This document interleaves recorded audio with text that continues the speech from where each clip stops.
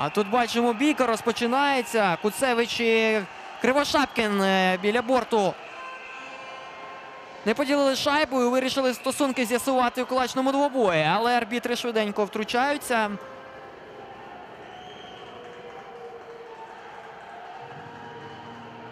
Розбороняють хлопців.